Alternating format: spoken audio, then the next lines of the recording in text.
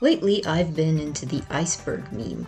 In case you don't know what it is, it's when you take a popular series or topic and arrange facts and theories about said topic from well known to obscure. There have been iceberg videos where people would take a certain iceberg meme and then explain everything on the iceberg. I like Lupin III. I've been a fan of it for some time now.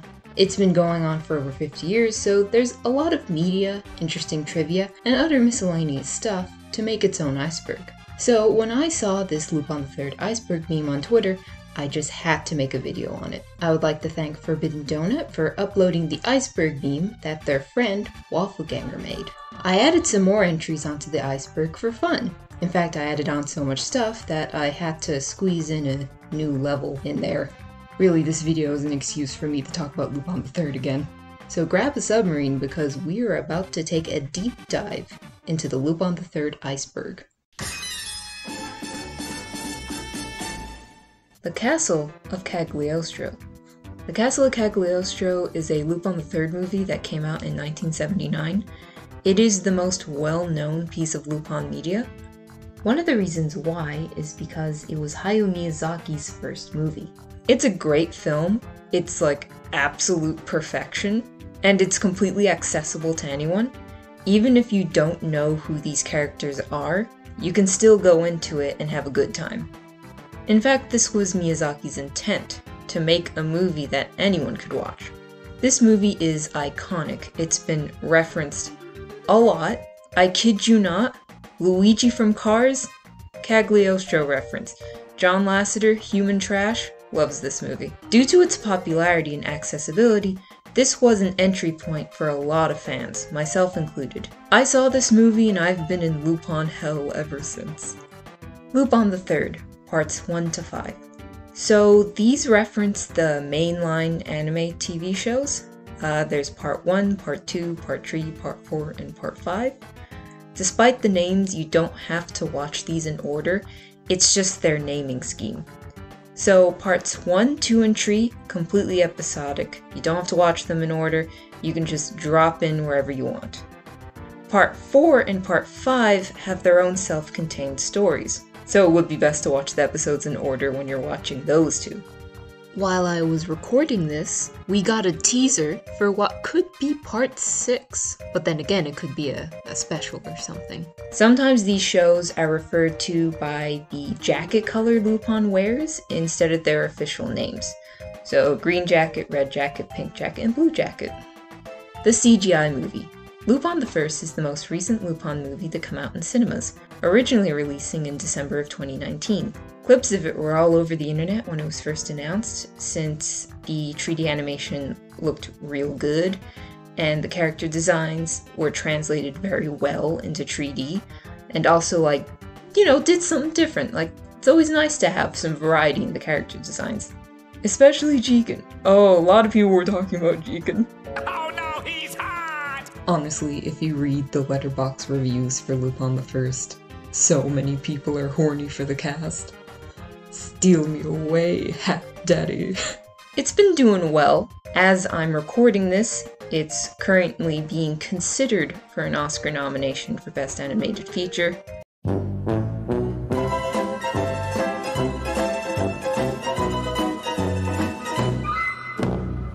Uh, I've heard it's really good. Uh, I'm waiting for it to release in my country because it's very rare for me to actually legally support Lupin the Third in my country.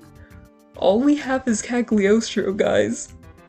Uh, fun fact, Marza Animation Planet, the studio that animated this movie, was formed through Sega. So they have been animating Sonic the Hedgehog cutscenes since 2008. So there is a Lupin Sonic connection there, and now you know about it.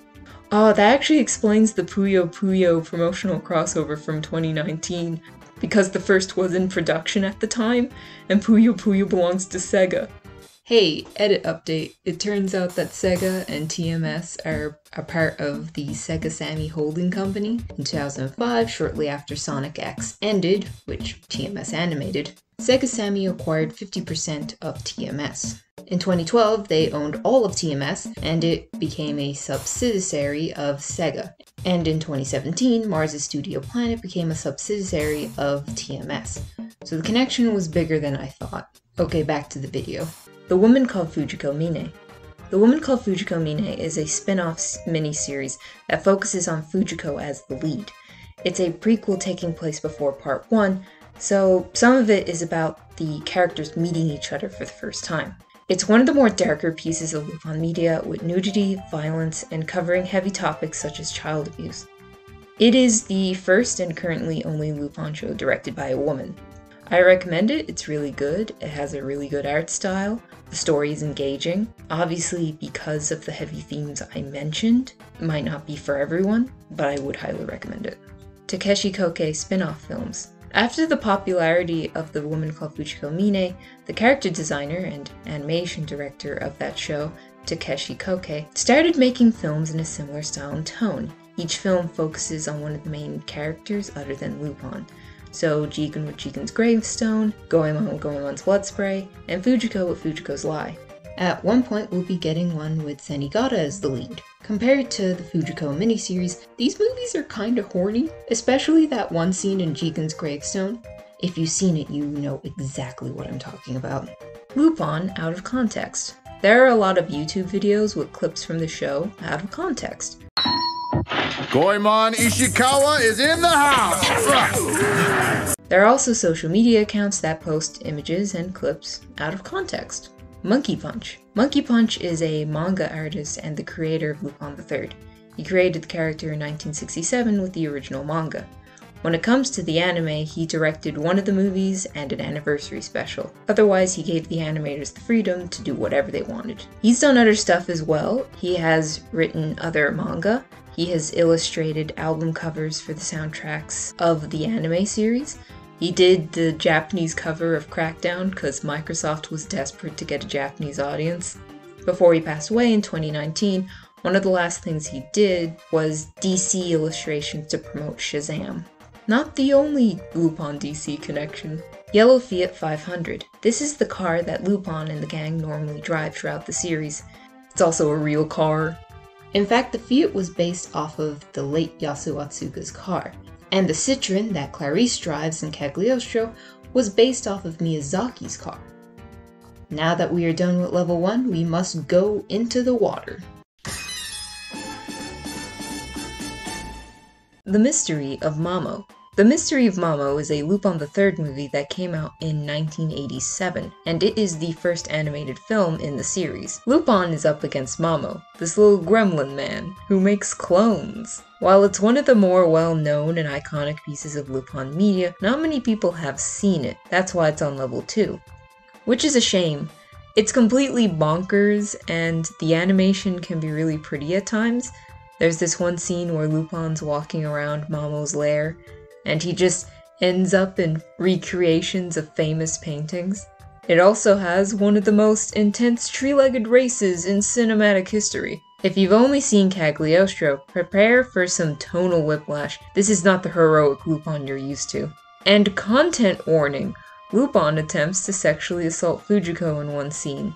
Also Hitler's there. Why are Nazis such a common occurrence in this franchise? Another interesting thing to note about this movie is there are four different English dubs for it. One of the dubs changes everyone's names except for Lupin, and Jigen's name is Dandun, and I just think that's funny. His name is the onomatopoeia for, for the law and order noise. The manga. Lupin III started off as a manga by Monkey Punch. It was meant to run just for three months, but due to its popularity, it kept going. One of the main influences for the art style is Mad Magazine, giving it a more western look compared to other manga at the time. I really do like the art style, it's very expressive and cartoony, and it is interesting to see how Monkey Punch's art changes over time. There's the original run of Lupin III that lasted for two years, followed by Shin Lupin III, or as it's known in English, Lupin III World's Most Wanted. I just want to point out the as seen on Cartoon Network note here.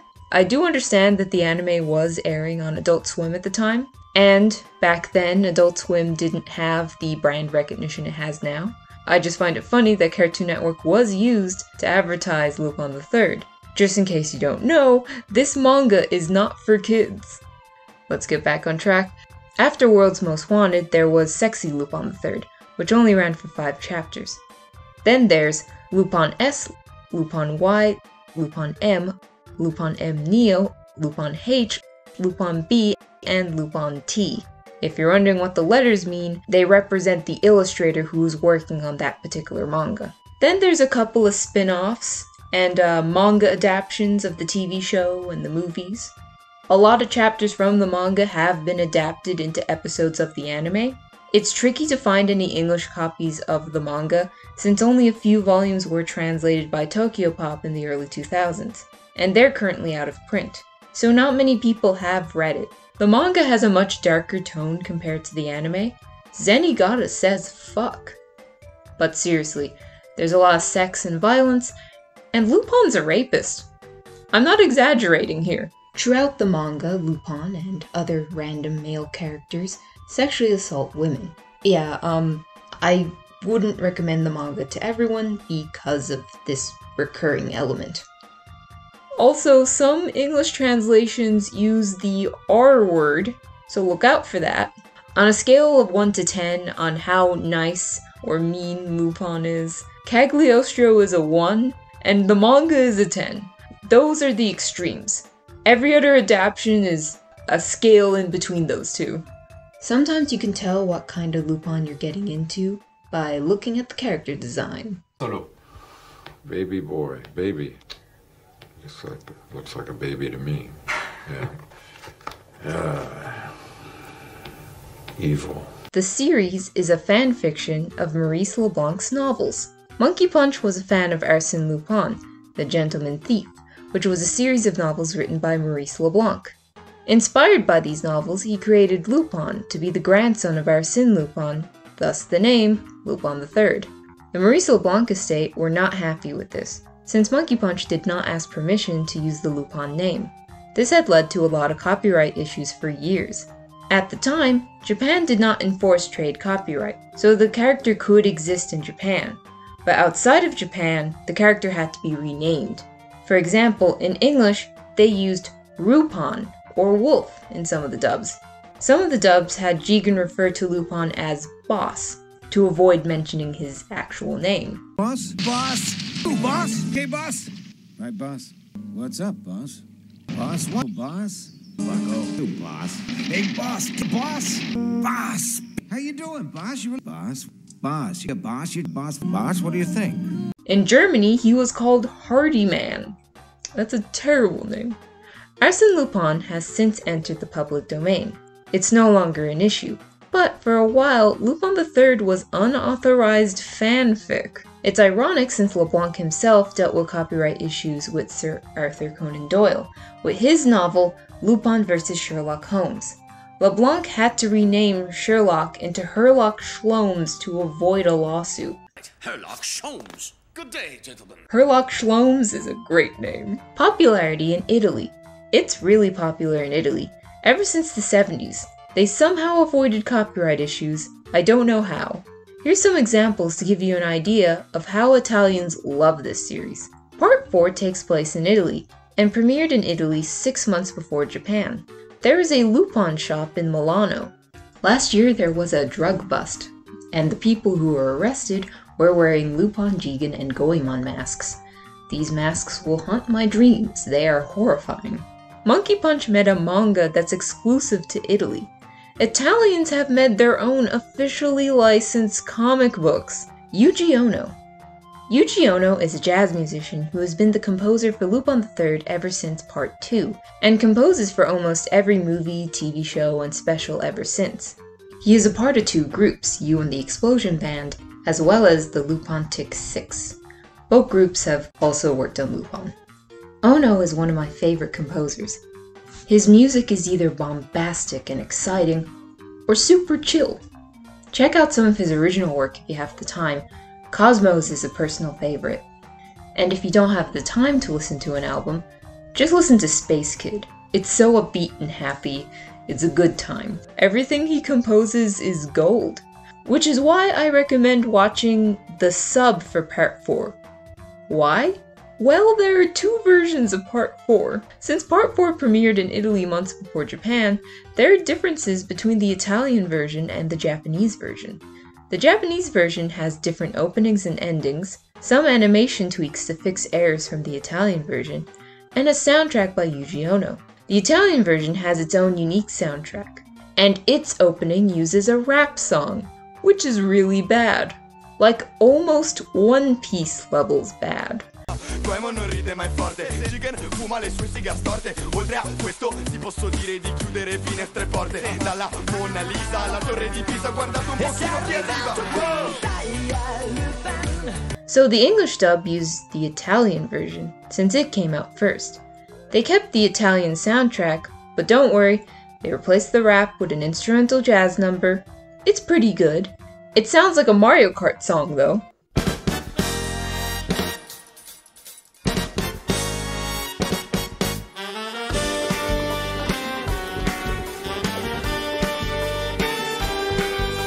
So because of these reasons, I would recommend watching the Japanese version, mainly for Yuji Ono's soundtrack. Normally I don't care about sub versus dub, but this is one of my few exceptions.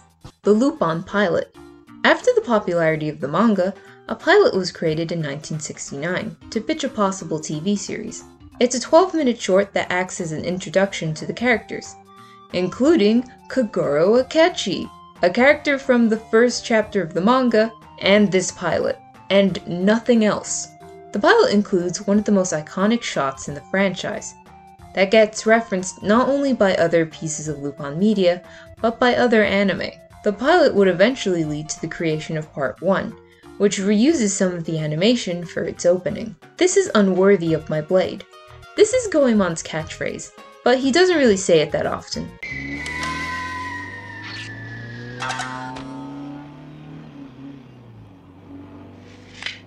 This is unworthy of my blade.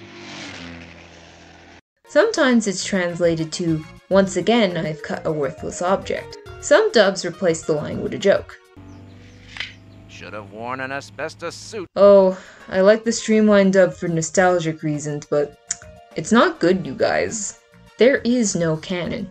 Lupin III works on negative continuity, like The Simpsons or Scooby Doo. Trying to make a canonical timeline is almost impossible, and you will go insane. It, it makes no damn sense. Compels me though. At least two different men have taught Jigen how to shoot a gun, and I think there's more, but I can't think of them right now. Goemon can drive cars and planes in part 2, but in part 4 and 5 he can't drive a car.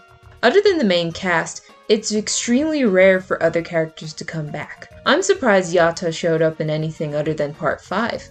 I thought they were going to forget about him like all the other one-off Zenigata partners. Like Vicky Flanagan. Does anyone remember him? Characters' birthdays. In a Castle of Cagliostro art book, there's a page that lists birthdays and horoscopes for the characters.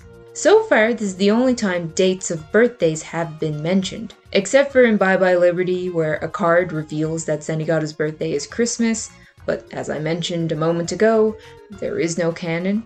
So for some fans, these are considered official birthdays. If you want to check out the horoscopes, Jigen Daisuke on Tumblr has translated them. I'll link them below. Cagliostro takes place in 1968. In one scene in Cagliostro, there's a newspaper that's dated as 1968, so that's the year the movie takes place in. Jigen in Western cartoons. This refers to Jigen making cameos in a few cartoons. Here's some examples. In Samurai Jack, there's a character called Thief. He appears in one episode, Jack in the Labyrinth. He also appeared in one of the IDW comic books. If you just look at him, it's it's Jigen. The character's personality is more like Lupin, and the whole episode was meant to be a Lupin III tribute. In another episode, they reference Cagliostro. That's it. The Crystal of Cagliostro. In the DuckTales reboot, here's Jigen in the Fiat 500. In another episode, Lupin makes a cameo. In the 90s, TMS animated episodes of American cartoons. For example, Batman the Animated Series, Tiny Toon Adventures, The Real Ghostbusters, and Animaniacs. In one episode of Animaniacs, Sir Yaksalot, the animators at TMS snuck in Jigen on a cart. That's all I know when it comes to Jigen in Western cartoons. There are tons of cameos in anime. Kazuhiko Kato. This is Monkey Punch's actual name. Monkey Punch is just a pen name that was given to him by his editor. Kato was not a fan of the name, but it stuck. There are multiple Fujikos. Originally in the manga, Fujiko was a different woman in each chapter. They were just all called Fujiko for some reason. And each week, these women all had their own different motivations because they were different women. Coming up with a new character for almost every chapter was proving difficult, so eventually, she just became the one character. Superhero, alternative version. Superhero is a song from the anime. The original version had English vocals, and it would play sometimes in episodes of Part 2. Normally, it goes like this. I'm the one everybody's waiting for.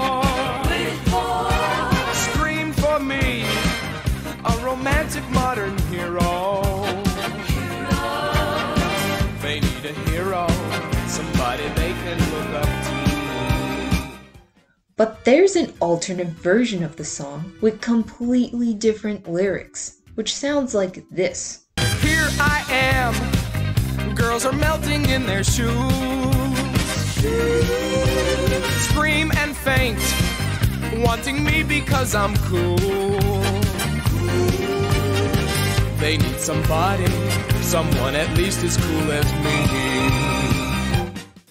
I actually did not know about this until starting this video. This feels like I stepped into an alternate universe because I'm just so used to the original. Is Lupin burning? This is the first episode of part 1, so this is the first official episode of the entire series. It's also a part of history. You see, Lupin the Third Part 1 is the first ever anime to be made for an adult audience. So as far as I know, this is the first episode of an adult cartoon. It's an interesting watch if you're curious, um, but there is a scene where Fujiko is strapped to a tickle machine. Yeah, it's really weird. This wouldn't be the only time the Lupin anime would make history. The 99th episode of Part 2 was the first ever anime to use stereo sound. Isn't that a neat fact? Who wants chicken nuggets? This is a line from the English dub of Part 2. Who wants chicken nuggets? Jigen is based off of James Coburn. Monkey Punch has stated that Jigen was inspired by the actor James Coburn, especially his role as Britt from The Magnificent Seven. Britt is a character who wears a hat, who's quiet and calm in most situations, and can throw his knife with pinpoint accuracy. Ironically, Britt is terrible with a gun.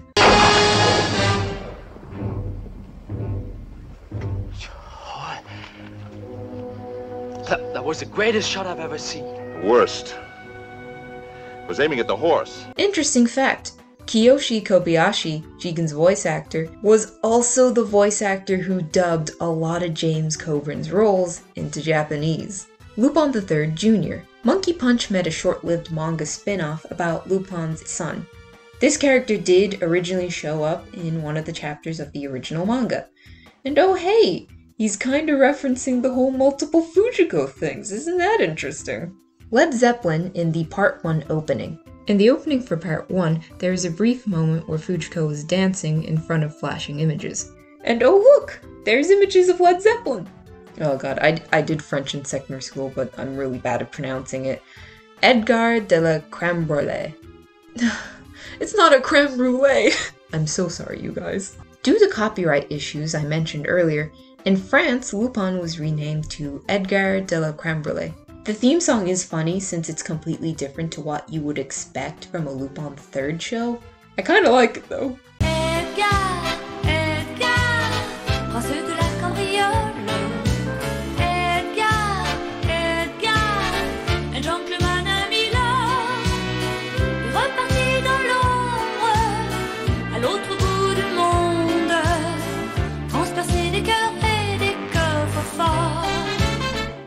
Fujiko's voice actor sings Part 5's ending. Miyuki Sawashiro, the current voice actress for Fujiko, sings the ending theme to Part 5. With her singing it and Fujiko heavily featuring in the credits, this led to a lot of speculation to what this could mean. We now know that it was foreshadowing the reveal that Fujiko and Lupin got married in secret and then later divorced. Goemon was added after Backlash. There's this story going around on the internet that while visiting America, Kato got a complaint from an American that his art wasn't Japanese enough, therefore inspiring him to make Goemon. This story has been proven false, and here's an interview from the man himself on how he created Goemon. 例えばあのここに出てくる5人のキャラクターのうちあのほとんどがあのなんていうかあの日本人っぽくないんですね。でそれでその なんとかその漫画のそのというかあの全体の構成のバランスをがどうしても必要になってくるんであのどっかにやっぱり東洋的なあの、えー、雰囲気というかそういうのがどうしてもあの必要になってきたんです。そこであのもうあの五右衛門という、えー、まあもう純あの日本風の、えー、男性を出して、えー、それであの5人のキャラクターのバランスをうまく、えー、取ったわけですけど。Well, we're halfway there. But like Leonardo DiCaprio and Elliot Page in Inception, we need to go deeper. Lupin Laserdisc posters. So I'm just going to briefly mention what a Laserdisc is. Tell you the truth, I'm 25 and I didn't know these were a thing till two years ago. So Laserdiscs were an old media format invented in 1978. They even got Leonard Nimoy talking to a plastic rock to promote them.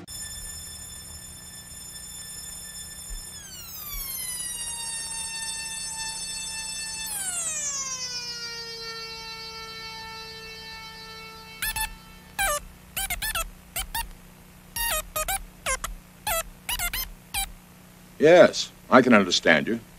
I'm Leonard Nimoy. Imagine a DVD, but it's as big as a vinyl record. In most places, it was a complete failure. But it did well in Japan, well enough that Pioneer, a company that made Laserdisc players, ceased production of them in 2009. So there were Laserdisc releases of Lupin III. Part 1 had these nice recreations of scenes from the show. The Part 3 Laserdiscs went with scenes that never happened in the show. Here are some examples. Lupin, Fujiko, and Jigen are in a band. The gang wreck Zenigata's car. Goemon is acting in a movie and Jigen is the director. Everyone's on holiday. Fujiko and Lupin are at a masquerade. Fujiko and Lupin are having a date in space. An improv session gone wrong. Zenigata performing a strip show. Good for him. And whatever the hell is going on here, why is Jigen so happy about this? Despite Laserdisc and Lupin not really being that popular in the US at the time, life found a way, since there is an English Laserdisc release of the Fuma Conspiracy. The Laserdiscs for Part 2 were movie poster parodies. I'm gonna name them all for you Chinatown, The Deadpool, A Clockwork Orange, West Side Story, Ikiru, Lawrence of Arabia, Paper Moon, Gone with the Wind, The Sound of Music, Cleopatra, Jaws, Taxi Driver, Terminator, Seven Samurai, Enter the Dragon, Breakfast at Tiffany's, Westworld, Planet of the Apes, City Lights, Blade Runner, The Sting, Roman Holiday, Fistful of Dollars, Ghostbusters, Shane, Lady Snowblood, Stranger Than Paradise, Bonnie and Clyde, The Blues Brothers, Butch Cassidy and the Sundance Kid. This one is a reference to a Japanese film series called Tora-san. There are 48 of these movies. I don't know which one this cover refers to, so I chose a random movie.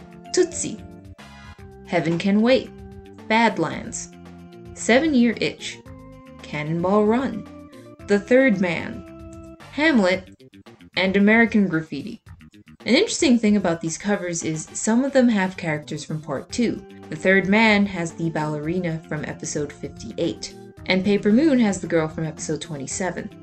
There's more examples, but I couldn't remember what episodes they were from. Fujiko's weapon is playing cards, so the main cast have their own weapons. Lupin has the Walther P38, Jigen has his Magnum, Goemon has his sword. For Zenigata, it's his handcuffs, but sometimes he holds his jitte, but you don't really see it that often. So Fujiko's weapon is playing cards. Now, of course, she uses a gun. I'm, I'm not sure if this is a fan theory or if it's actual canon, but there is evidence. In the pilot, she uses a card to stop a knife. She throws cards in an episode of Part 5 and in the 70s live action movie. In Part 4, when Leonardo da Vinci pulls an inception on the entire population of Italy and tests everyone's skills, for Fujiko, it's a game of cards. And when she wins, she uses them as a weapon. It also kind of fits her character. Her actions and motivations change depending on the situation. Like in a game of cards, it depends on the hand that you're dealt. Lupin the Fourth. So there are two Lupin the Fourths I'm aware of, and I didn't know which one the iceberg was referring to, so I'm going to talk about both. In the anime Aria the Scarlet Ammo, there's a character named Riko Mine Lupin IV. She is Fujiko and Lupin's daughter. Other characters are also descendants of other famous characters. There is a Sherlock Holmes one, then there's the 1990 December issue of Animage, where they had this article of what would anime look like in the 21st century. This included an OVA for 40 year old anime fans, a Magical Girl anime by Mamoru Oshii, and a Lupin the Fourth anime series. Cliffhanger Laserdisc. Laserdisc! Laserdisc wasn't just used for movies. It was also used for arcade cabinets, the most famous example being Dragon's Lair. Dragon's Lair was a big deal at the time. You went from this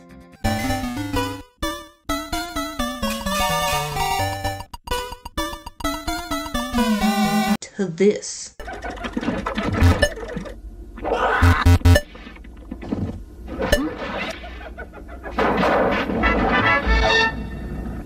After the popularity of Dragon's Lair, Stern Electronics made Cliffhanger, reusing clips from The Castle of Cagliostro and The Mystery of Mamo to make a game. Due to the copyright issues, characters had to be renamed. Lupin is Cliff, Jigen is Jeff, and Goemon is Samurai. The dub is terrible, making it hilarious. Will Count Draco strike the first blow? Will the princess be forced to marry someone she can't stand? Oh no! Millions! Trillions! It's counterfeit. Some days you just don't want to get out of bed. Cliffhanger has made its mark in media. It even briefly shows up in the Goonies. More people seem to talk about Cliffhanger a lot more than they do Space Ace, the spiritual successor to Dragon's Lair. Lupin is immortal. Like any long running show, you have the classic insert character here is immortal.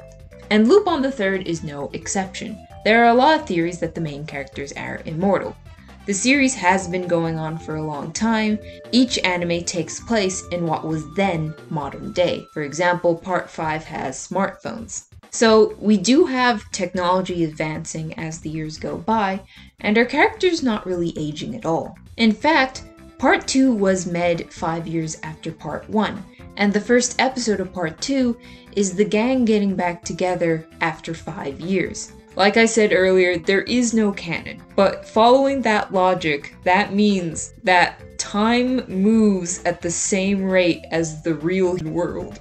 Some people have used the OVA, Red vs. Green, to support this theory. Uh, there are two scenes with Jigen that sort of imply this. Jigen talks about how he's been using the same gun for 40 years, and in another scene, he says, I may be old, but I still got it, despite the fact that he looks the same as he always does. So, those two scenes in particular, I do see pop up anytime someone has the gang is immortal theory. But this movie was made to celebrate the 40th anniversary of the series, so it's completely up to you how you interpret that. Let, let's move on. Strange Psychokinetic Strategy.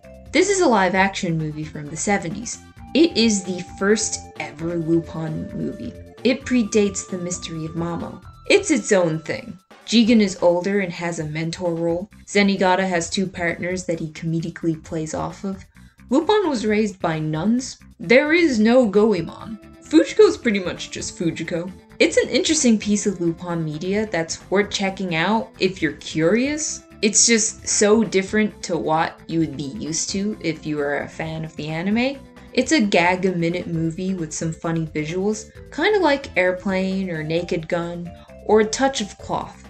Any Touch of Cloth fans out there? An entire building full of innocent people dead because of me! For the fifth time this year! At some point, there's even a Benny Hill chase scene. Jigen eating a sandwich near a toilet is a complete mood. But yeah, if you're interested and you're looking for a strange movie, go for it. Part 5 ending meaning. So, in the last episode of Part 5, Lupin takes off his face and we don't know what he was hiding underneath. It's a complete mystery.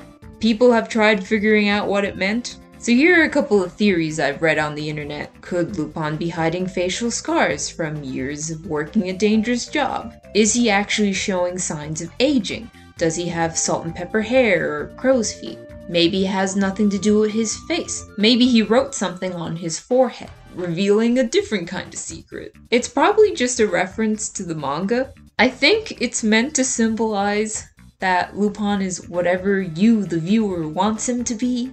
Since before that, Enzo went on a big old speech about, ha ha ha, Lupin, I know everything about you because of my app. Uh, it's just. I have so many opinions about part 5. One of them being it kind of feels like it was written by Steven Moffat sometimes, because this ending feels like the Reichenbach Falls all over again. We will never know, and that's the point. The musical. In Japan, there is an all female theater group called the, the Takarazuka Revue. This group has been around for over 100 years, and they have made musical adaptations of movies, books, and other media. Examples include The Great Gatsby, Oliver Stone's JFK, Sailor Moon, Phoenix Wright, and of course, Lupin III. The story is about the gang trying to steal the Queen's necklace in France. You know, Zenigata shows up, the usual chaos ensues. But then the necklace brings everyone back in time to the 1780s France, just before the French Revolution. So, with the help of Count Cagliostro, they have to find some items that will allow them to get back to the present. One of these items is in the possession of Marie Antoinette, but Lupin has feelings for her, and he might rewrite history to prevent her death from the revolution. The fact that I don't question how crazy this storyline is shows that I've seen so much from this franchise. Goemon was originally black. In the pilot and The Mystery of Mamo, Goemon had a much darker skin tone compared to every other depiction of him. It does suck that some of the characters do get lighter skin tones as the years go on. TMS, give my boy back his melanin! Yamada replaces Lupin in Part 4. So there's this theory that the reason why Part 4's characterization felt a little off for some of the characters was because it took place after the events of Red vs. Green, where Lupin was replaced by Yamada, the main character of that movie. In parts 1, 2, and 3, when they're not stealing stuff, the gang tend to hang out with each other, whether that's chilling on the beach, going to plays, or even making dinner together. But in part 4, they talk about how outside of work, they don't really talk to each other. それともシャンプーしちゃうって感じ？お前のもみあげと一緒だよ。いいから教えろって。俺のひげを暇つぶしに使うなよ。俺ら仕事以外意外と話すこと少ねえんだな。そりゃそうだろう。仲良しクラブじゃねえんだから。右に同じ So I can see why this theory is a thing. Inspector Gadget exists because of Lupin the Eighth. DiC Entertainment is a television production company best known for the Super Mario cartoons, dubbing Sailor Moon into English in the 90s, Go bleach your roots, creep! and all these shows. In 1981, Deke formed a partnership with TMS to make the show Ulysses 31. Happy with the success of Ulysses, TMS proposed the idea of making a Lupin III TV show for a younger audience. Space was pretty popular at the time with Star Wars, and with the success of Ulysses 31, It was decided that the show would take place in the future, so all the characters are descendants of their original counterparts. We have Lupin the 8th, Goemon the 18th, Fujiko the 6th, Jigen the 6th, and Zenigata the 6th. With the target demographic being kids, changes had to be made. Lupin the 8th is a detective, not a thief. Jigen doesn't smoke, he eats lollipops. Guns have been replaced with lasers, and Goemon's sword is now a lightsaber. Zenigata works for the Space ICPO. Since this Lupin isn't a criminal, Zenigata just doesn't trust him because of their family's past. The pilot was met with music, sound effects, and a written script, but the project was cancelled before any dialogue was recorded because the Maurice LeBlanc estate came in about copyright. Since the show was being produced in France, there was no way around the whole copyright issues, making the production very difficult. The easiest thing to do was just pull the plug. To recoup the costs of the cancelled show, a new one had to take its place. So they came up with Inspector Gadget. A lot of the animators from TMS that were going to work on the 8th ended up working on part 3. And TMS was still involved with Inspector Gadget, but only in the animation department. They animated most of the episodes for season 1. For a long time, the pilot was considered lost media, until it was released on the Lupin Master Collection in 2012. Excluding the pilot, there were five other episodes that were partially animated. Since they were partially animated, the details are a little vague. There's an episode where Lupin fights a fake Lupin. The fake Lupin acts more like Lupin III, so he's stealing things and giving the 8 a bad name. Also, he's a robot. Jigen and Lupin are stealing things, I think? Lupin enters a Formula One car race. Lupin and Jigen are playing American football. Zenigata has a microchip in his teeth, and Lupin disguises himself as a dentist to try and get it. And Fujiko is also after the microchip.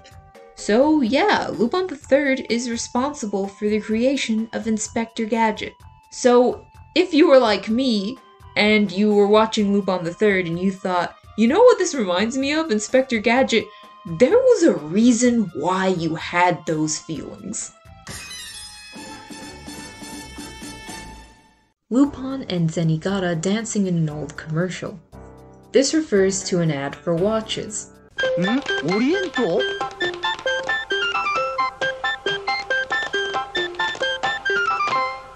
メロディー奏でるデジタル三世新登場オリエント The Typing Game No, this isn't some Mavis Beacon style ripoff.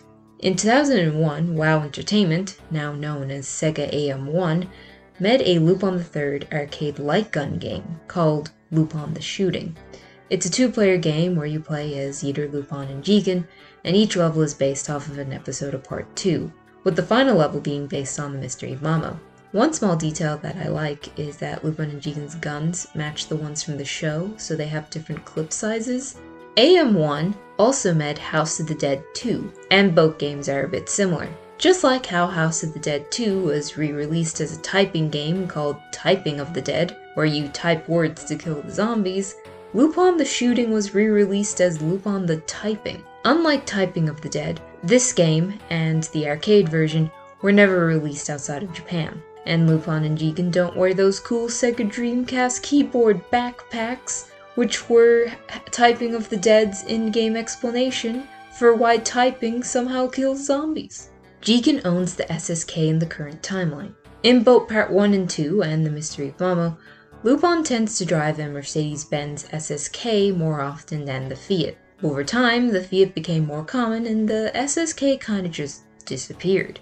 Near the end of part 5, after Lupin is captured, the SSK makes an appearance. Jigen parked it in the middle of the road to stop the prison transport with Lupin in it. This has led to the theory that Jigen now owns the SSK. With the amount of times that Lupin crashed or damaged that car, I wouldn't be surprised if Jigen just took the keys off of him. That car would be really expensive to maintain considering how old it is. In Japan, Lupin and Kermit have the same voice actor. Yasuo Yamada, the original voice actor for Lupin, did the Japanese dub for Kermit the Frog. Here's a comparison.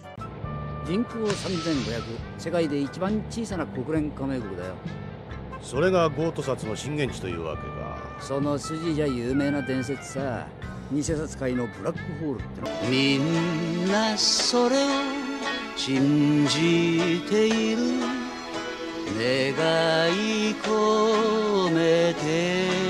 Yasuo also dubbed Clint Eastwood and voiced these characters until his death in 1995. To add to this, the original Italian voice actor for Lupin dubbed Miss Piggy in Italian.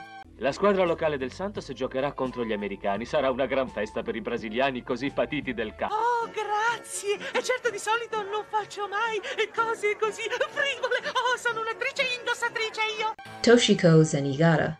In one scene in The Mystery of Mamo, someone mentions that Zenigata has a daughter named Toshiko. This character has never been mentioned again in the rest of the series. So basically, he left his family behind. He left his family behind! It reminds me that in one chapter of the manga, Jigen mentions he has a sister, and that too is never ever brought up again. Lupin Sanshi. This is a web parody series by the animator Frogman that has 10 episodes. It was officially released by TMS on Blu ray, though it is no longer on their official website, so I think they don't want to acknowledge that this was a thing anymore. It took me a while to find all 10 episodes, but I eventually found it with no subtitles, so I was mostly lost, especially since a lot of the humor is puns and wordplay. Since it's a web animation, the animation is a bit limited.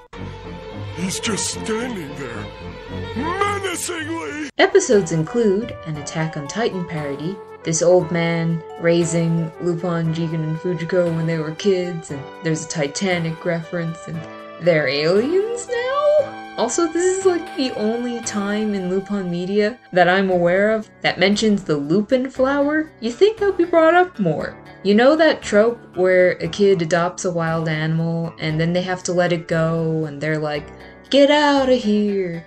I don't want you anymore! You stupid animal! That's an episode. But Lupin's the animal. A My Neighbor Totoro parody. Look, he does the Totoro jump. And Lupin is a teacher.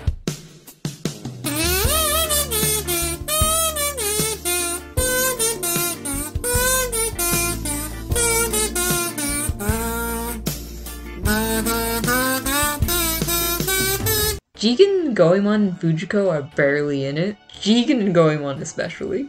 Goemon uses his sword once. I did not know that this was a thing until very recently, and now I do. It's very odd.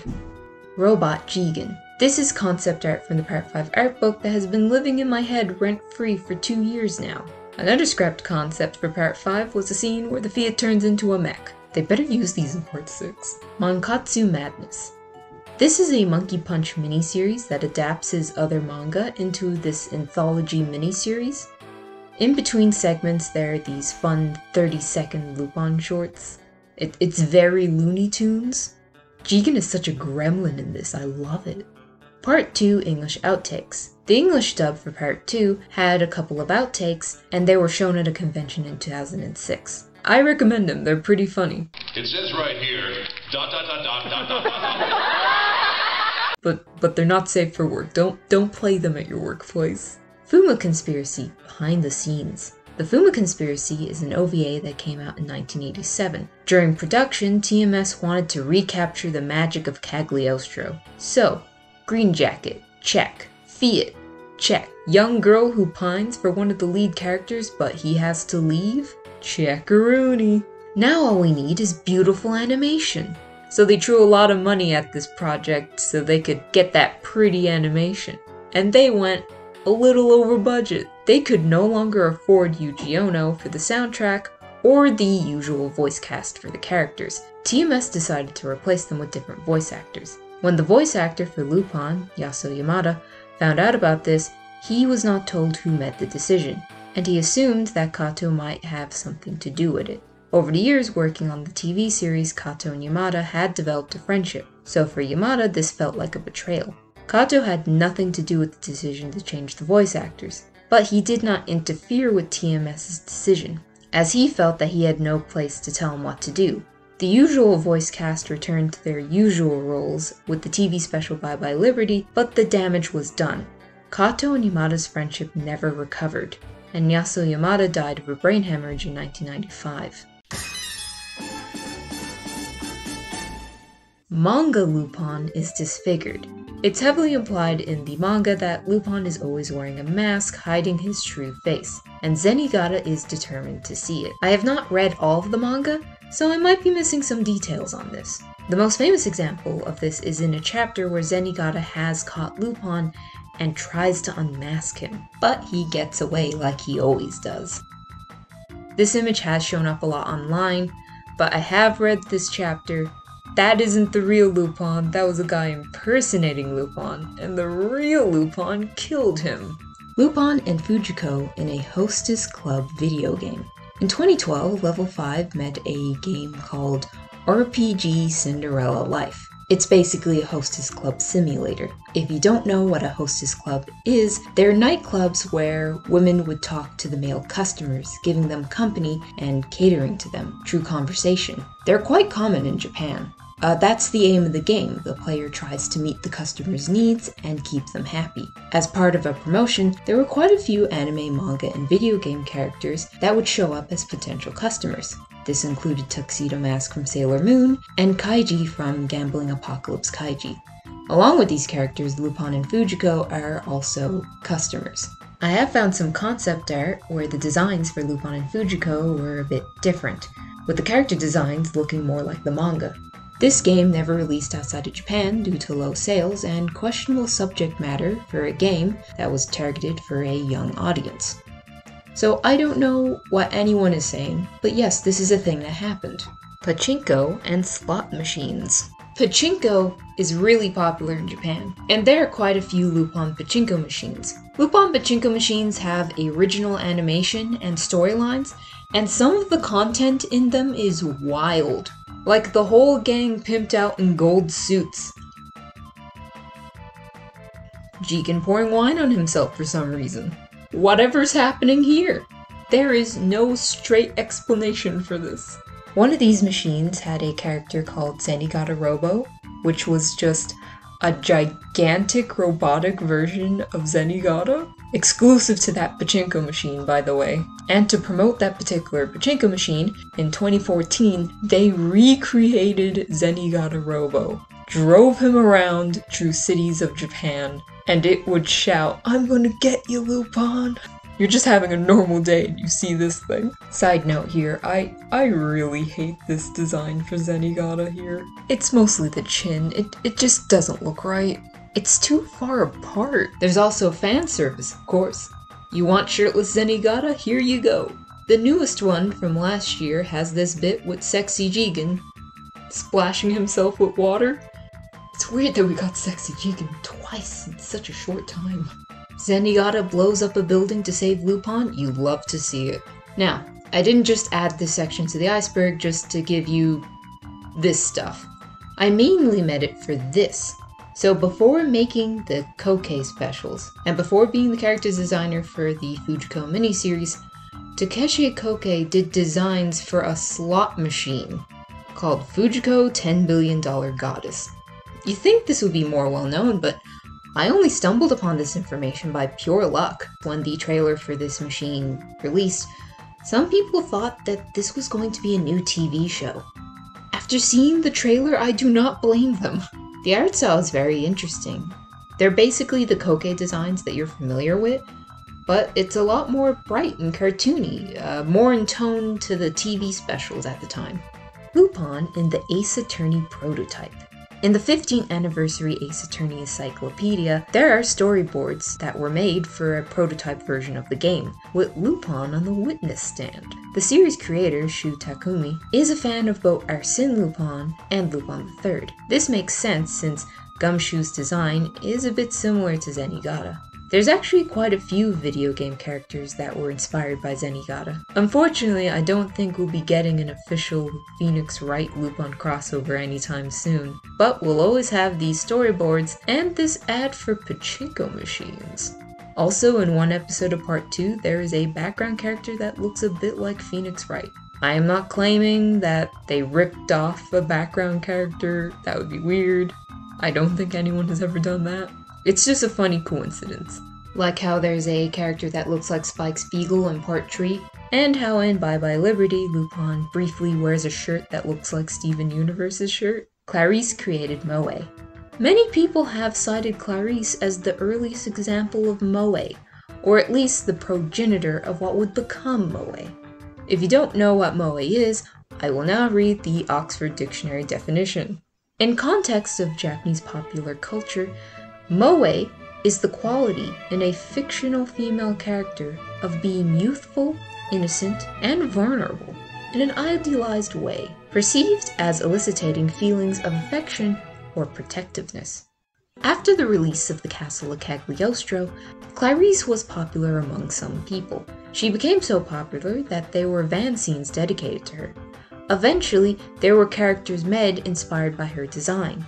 The most famous example being the main character from the Daicon III and Daicon 4 animations.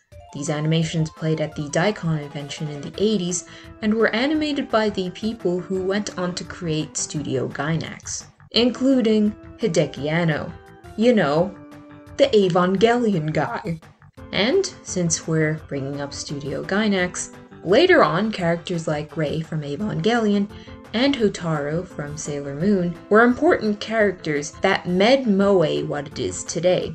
There's even an Evangelion game where the player plays a self insert NERV officer who takes care of Rei, and if you max out her otaku stat, you get an ending where the player character marries her and they're dressed up like Lupin and Clarice in a Cagliostro themed wedding. Yeah, for some reason people uh, ship Lupin and Clarice. I don't get why, but they do. We have also come full circle. We now have Moe characters in Lupin III, including Ami, a character who is 15, is sexualized as soon as she's introduced, spends most of the anime having a crush on Lupin, and is a victim of child pornography. Can you tell I'm not a big fan of Part 5? Now Goemon's Moe.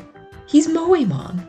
If you want to learn more about Clarice and her connection to Moe, along with an analysis of Moe and Lolicon, I would highly recommend this article, The Castle of Doom and the Lolicon Boom. It's where I got most of my information, and it's an excellent read. Mamoru Oshii's cancelled Lupin movie. Oh boy, this one's a doozy. The Legend of the Gold of Babylon could have been a completely different movie. While Part 3 was airing, TMS went to Miyazaki to make another Lupin film. He declined as he was done with the franchise and he had moved on to pursue his own projects. But he did recommend Mamoru Oshii. Oshii and Yoshitaka Amano, one of the character designers from the Final Fantasy games, worked together to come up with a pitch. The first idea was to have a Lupin movie where you never see Lupin, but he would still have a presence throughout the movie. This eventually developed into Lupin is depressed, having lost purpose in his life, as there is nothing left in the world that's interesting to steal. Then he decides to steal an angel fossil that's located in the Tower of Babel in the middle of Tokyo. This tower was built by an architect. After the tower was completed, he committed suicide by jumping off the tower. While in the tower, the gang run into a little girl, who is the architect's granddaughter. According to an interview with Oshii, this was the girl's role. It seems she spends her life in a wheelchair without making one step out of her room. A murder takes place in the tower, and the photographic evidence shows the white hands of a young girl. Lupin decides to tackle this mystery and sneaks into the tower. As he advances through the interior, he discovers white feathers scattered on the floor, and the corpses of small animals. According to Fujiko's investigation, it turns out the girl wasn't the old architect's granddaughter. Then who in the world is she? She was actually an angel who mocked humans and killed them. In my mind, the tower itself was based on Dante's Inferno, while the strange girl was Beatrice. So, mentioned in the above quote, Fujiko would have spent the movie investigating the angel fossil, kinda like a reporter. She would follow its location history, and she would eventually end up in the tower. She wouldn't even interact with the rest of the cast until the end of the movie, where she revealed the girl's true identity. When everyone gets to the fossil, they discover it's made of plutonium. Now, I don't know in what order these events happen, but Lupin would have realized he's fictional. Tokyo would have been destroyed by a nuclear explosion caused by the angel fossil, and Lupin would have stolen reality. I think what would have happened was Lupin would realize he was fictional, therefore, everyone and everything he knows is also fictional, and he would have just blown everything up because I guess nothing matters. Um, basically, the movie would have ended with the main character ceasing to exist. TMS thought these ideas were way too out there, so they fired Oshii and Amano, leaving only a handful of concept art. A lot of the ideas for the movie became Angel's Egg, including the little girl and the fossil of what is implied to be an angel. By the way, Angel's Egg is good. Watch it if you haven't seen it. it. It's on YouTube. The idea of the architect committing suicide after completing a project related to Christianity was reused for the first Patlabor movie. Other ideas and concepts were used for the second Patlabor movie and Ghost in the Shell. Kenji Kamiyama, a student of Oshii's, was heavily influenced by the themes of this cancelled movie and used some of them for the Re Cyborg 9 movie. Even The Legend of Gold of Babylon, the movie that would replace this project, has a strange character that's more than they appear to be. Instead of a little girl turning out to be an angel, it was an old woman turning out to be an alien. This project is just so fascinating, and seeing how much movies it influenced is insane. Years later, some people still think about and talk about this cancelled movie. In 2005, a Japanese website made an April Fool's joke about Oshii directing a TV special, and they posted an image of Lupin in an art style similar to Ghost in the Shell. Like Miyazaki, Oshii wondered what would it be like if Lupin wasn't a static character, and how would he develop as he gets older? Miyazaki's interpretation of this was Cagliostro, having Lupin in his twilight years. He's a bit nicer and a bit more mature. I think that this movie would have been Lupin going through a midlife crisis. That's why Oshii's Lupin concept in this magazine looks like he's balding. It's meant to be a much older Lupin. It's a very fascinating idea. Though it will never happen, it would be interesting for someone to explore this. Apparently, Hideaki Anno was going to be an animator for this if it was greenlit. And of course, with the movie dealing with a depressed main character, having a lot of Christian symbolism, angels, reality just getting completely messed up. I can't help but think of Evangelion. Could you imagine a Lupin Evangelion? That would be insane. White Jacket. Originally, Yuzo Aoki, the animation supervisor, character designer, and animator for Part 3, wanted Lupin's jacket to be white for Part 3. TMS wanted to be red just like in Part 2. They compromised with pink. Also, Monkey Punch once drew Lupin with a white jacket, and I have an unofficial example of White Jacket this bootleg. Can we have this be the color scheme for part 7 or a random special? Please give me bright lime green Jigen. Yellow Jacket. Hisashi Iguchi, the character designer for the TV special Voyage to Danger, suggested making Lupin's jacket yellow. He even met some concept art for it, but the request was ignored. I like this color scheme. We were robbed. Jigen reads Barazoku magazines. Barazoku was Japan's first circulated gay men's magazines. And in one of the episodes of Part 3, you see Jigen reading a magazine that resembles Barazoku. It's even called Playboys, it's pretty clear what it is. This section can be summed up as Jigen is gay, and I will go into more detail about this. Throughout the entire series, Jigen has a lack of interest in women. In the Kabuki episode, Jigen says this this is a term that is historically associated with gay men in Japan. In the dub, it was translated into this My reputation for misogyny is legendary. Since the term directly translates into woman hater in English, Lupin and Jigen are very close. This kind of subtext is even in the manga. I could go on, but this video is long enough already. I will link this article that examines the gay subtext in Lupin III. It only covers part 1, but it's still a good read. Lupin and Jigen getting crushed in Yasuo Otsuka's book. Pretty self-explanatory. In one of Yasuo's art books, there's a bunch of vehicles in Lupin artwork, and one of these artworks has a Fiat getting crushed by a tank. Oh no, Jigen's hat is there, implying that the two were crushed to death. Nasudo. So what is Nasudo? Well, Nasudo was a manga that was in Shonen Jump for 17 issues in the 1970s. The series had a short run since the premise and Nasudo's design was similar to Lupin, and Shonen Jump was worried about legal issues. So, how similar was Nasudo's design to Lupin's? They look exactly the same. They're the same picture. I have seen this image before, and I assumed it was just early Lupin art, where he looks a bit different, like this one where he got a big nose and a longer head. And not a completely different character. Really, the only difference between Nasudo and Lupin is that Nasudo has a white jacket and an N on his tie, the premise is Nasudo, who is a thief, him and his partner Scott, who looks a lot like Jigen, just without the hat, and his surrogate daughter Chiko steals things and hijinks ensue. Nasudo is a mystery. The chapters haven't been reprinted for legal reasons, and even if they were around, they haven't been translated into English yet. I am really curious about Nasudo. I really want to read it.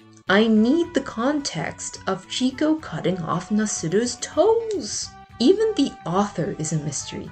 Kano Banko, I have an image of him here. Other than that, I don't really know anything about him. Apparently, that's not even his real name. It's Kano Saturo. And other than Nasudo, his other work is porn manga. I feel like that, like myself, there may have been people who have seen Nasudo but assumed it was Lupin. Well, all we can say now is Put Nasudo in the next Jump Force game, you cowards! Hey, thanks for watching the video. Uh, normally people would plug things, but I make videos as a hobby, so I'd like to recommend other Lupin content that you could watch. Shannon Strucci has done a non-spoiler review on the first. There's also Caribou Kun's video on I've watched all of Lupin the Third and regretted it. Last but not least, we have Is Lupin Still Flirting, a free to play visual novel. You play as Lupin, who's been captured by Zenigata, and you have to flirt your way to freedom. So, the day I was about to upload this video, I found out that there is another Lupin iceberg meme that has over 30 things I did not cover in this video. And honestly, the idea of going back and adding all of that stuff, I kind of felt like this. So I'm just gonna leave the video as is. But don't worry, the creator of the iceberg plans on making their own video covering their own iceberg. So you're covered. So whenever that comes out, I recommend that you watch it.